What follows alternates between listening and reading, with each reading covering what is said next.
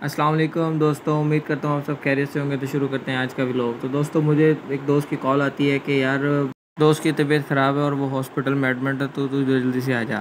تو یہ سننا تھا کہ میں بائک نکالتا ہوں اور سیدھا چل پڑتا ہوں ہاسپٹل کی طرف۔ اور رستے میں جاتے ہوئے میری بائک کی چین خراب ہو جاتی ہے۔ رستے سے اپنی بائک کی چین بنواتا ہوں اور پھر چل دیتا ہوں اپنے سفر کی طرف۔ ہاسپٹل میرے گھر سے زیادہ دور نہیں ہوتا، تھوڑی سی مسافت پر ہوتا ہے، تو اس لیے میں تھوڑا سا اور سفر طے کرنے کے بعد سیدھا پہنچ جاتا ہوں ہاسپٹل ہاسپٹل میں انٹر ہوتے ہی مجھے فیلنگ آتی ہے کہ کہیں میں غلط ہاسپٹل تو نہیں آ گیا، کیونکہ نہ یہاں مجھے کوئی بندہ نظر آتا ہے نہ بندے کی ذات۔ خیر، میں نے ایک بار فیصلہ کیا کہ اندر جا کے دیکھو۔ اندر جا کے دیکھتا ہوں اس کو ڈرپ لگا رہے ہوتے ہیں اور یہ بیٹھا اس کو چھیڑ رہا ہوتا ہے۔